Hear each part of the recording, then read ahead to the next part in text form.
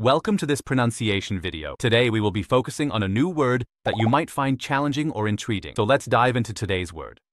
Cup, which means, Cup in Chinese. let's say it all together. cup, cup, cup, One more time. cup, cup, cup.